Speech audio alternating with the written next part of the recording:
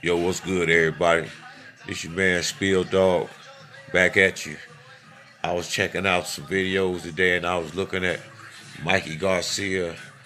Every day it seems like it's four, five videos with Mikey Garcia training, Mikey Garcia confident, Mikey Garcia this, Mikey Garcia that, woo woo. Man, you know, they say uh, uh a silent man is a dangerous man. Earl Spence ain't saying a word.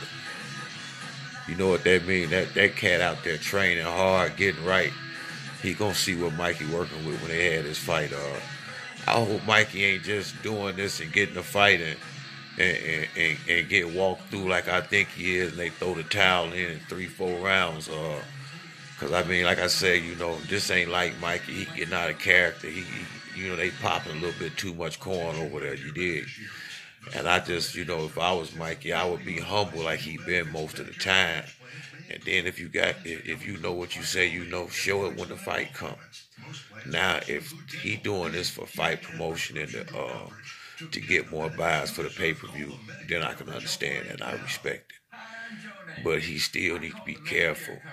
Like I say, he popping a lot of corn out here, and uh, it's gonna look bad if you come, get that ring and Earl just really, really bring you that pressure and you can't handle it because it ain't gonna be the same. It's ain't gonna, this ain't Keith Thurman finna get in the ring.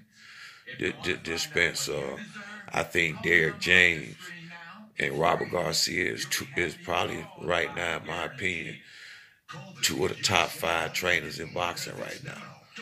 I'm a big Derrick James fan. I, I, that's probably my favorite trainer because of the work that him and Earl Spence do together. I like Bo Mack a lot too, but Bo Mack ain't Terrence Crawford only trainer.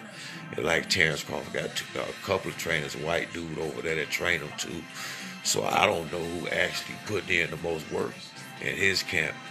But I feel like Derrick James, I don't think he could train nobody else the way he trained Crawford. I'm, no, I'm sorry, the way he trained Spence.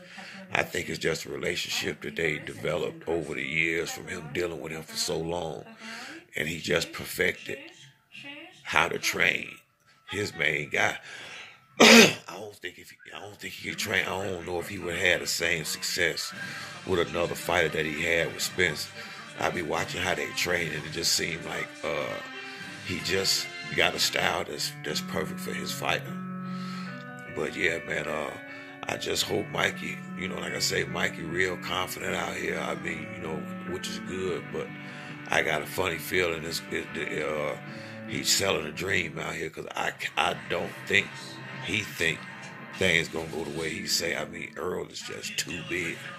Bottom line, I mean, you know, uh, that's just the bottom line. It, when the fight come, you're gonna see. Now, Mikey is a big guy. Now, don't get me wrong. For his size, Mikey was he was bigger than Adrien Broner. He, he been bigger than pretty much everybody he fought uh, that I've seen. Robert Easter was taller than him, but all the 135 pounders and 140 pounders I seen Mikey. And when you look at Mikey body and look at this, he's he's much more. His body is much more filled out, and he looked much more solid than all the guys that he fought at that lower level. So this time we gonna see what he do with a with a real big a, a big solid strong welterweight and see if this SNAC program and all that do anything for his power and uh, his conditioning for down the stretch because Earl Spence power stay with him throughout the fight. I don't know if Mikey gonna be strong early and weak late or maybe Mikey thinking he got enough power to catch Earl early and knock him out. That'd be a, I mean it'd be a big surprise but he say he see something. I don't know what the hell he see. I know Earl can get hit a lot, but The guys Earl been fighting look like they bigger punches than Mikey, and he been eating them like them punches like Skittles. So we gonna see what's up. Uh, but you know, anybody, you know, when you watch the video, if you like it, leave a comment. You know, uh, hit the subscribe button.